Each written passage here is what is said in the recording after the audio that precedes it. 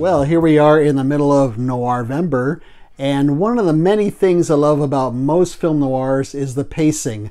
The plot moves along at a good clip, each scene builds upon the next, ramping up the tension and suspense. Even the dialogue is direct and fast paced. But what happens when a noir or a neo noir goes beyond its usual running time of 90 minutes or less? Well, that's the topic for today's episode. This is the Kazdoy Closet. I'm Kazdoy. That's my closet full of all the stuff that I love. And today, can a neo noir with a clocking time of over two hours actually work? Let's check it out. Today's film is The Hot Spot from 1990. It's 130 minutes long. It's in color. This is about a drifter who arrives in this small Texas town and quickly becomes involved with two very different women and with a bank robbery. There are many noir elements in place here. Um, there's a, a, blackmail, there's a murder, there's crime, there's uh, ulterior motives, there's uh, adultery, a femme fatale, and it's even based on a pulp crime novel. So, what's missing from this film? Well, the major problem is it's just much too long. In fact, the original cut was four hours, which to me is just uh, sounds interminable. This one is a little over two hours long. Um, uh, about half the film uh, involves the main character hanging out with one of the two main female characters, and that really gets tedious after a while. It doesn't do anything to move the plot along, and it just kind of drags down the pace. And whenever another, it got to the point when whenever he would show up in another scene with one of the women, I'm thinking, oh, here we go again. Okay, let's get through this and maybe move this plot along somewhere. There's no real uh, great amount of tension or suspense until I'd say the last 30 minutes of this film.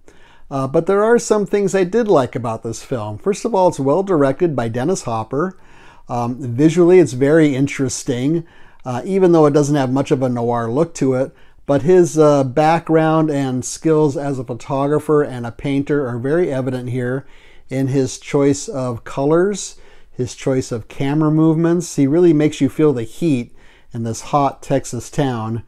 And this uh, came uh, uh along during his an upswing in Hopper's career after his stint in rehabilitation. He appeared in River's Edge, and then he appeared uh, in uh, Blue Velvet, one of my favorite films. And if you want to know more about Hopper, uh, you can check out my episodes I did on Mad Dog Morgan and on his film Out of the Blue. Another strength of this film belongs to the performances. Don Johnson plays our lead character. This was his first uh, real big major film role since leaving Miami Vice, the TV series. And it's a good noir performance. He's in almost every scene here and he uh, he is, has very little dialogue here. So it's a good noir character. He does a good job. He's a good-looking guy. Comes across well on screen. And uh, one of the lead female performances is by Virginia Madsen. She plays our uh, adulterous femme fatale. The color red dominates whenever we see her. Uh, her clothing, her bright red lipstick, her bedroom decor, it's it's almost to excess and almost becomes laughable to a point. It's just so overdone. But I did like it. Um, she's very sexy. She's very aggressive, very seductive in this film. Her house is filled with these uh, stuffed uh, predatory animals or heads mounted on the wall. So it's like every room you walk into into her house, you feel like you're getting attacked. So that's a little bit overdone too, I thought. And uh, she's probably best known for her roles in Candyman and Sideways. The other female lead is played by Jennifer Connelly. She's like the virgin to Madsen's horror in this film. She's uh, bathed in natural light all the time. She wears sundresses. She is very young and innocent. She's supposed to be 19 in this film. Uh, she's a brunette, whereas Madsen is like a platinum blonde. And uh, she's just, I think Jennifer Connelly's just gorgeous. She's maybe a little too coquettish and flirtatious in this film, even though she's also quite virginous. So Don Johnson is, is uh, his character is attracted to both of these opposite women. And uh, both actresses do appear naked in here. There's a good deal of sexuality in this film. I think that's probably one reason why the tagline for the film was film noir like you've never seen. And I think also maybe the hot spot is another sort of double entendre going on there. Um, another thing I liked about the film was the music.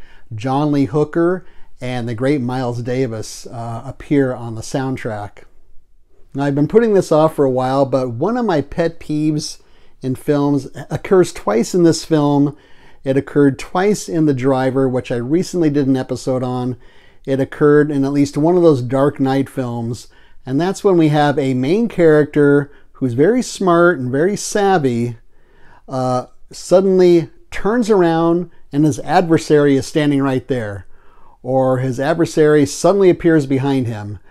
This main character doesn't hear the guy walking up, he doesn't see him walking up. Suddenly, this adversary just appears out of nowhere. I mean, those Dark Knight films, Batman makes a big entrance, so how could he just suddenly be standing there?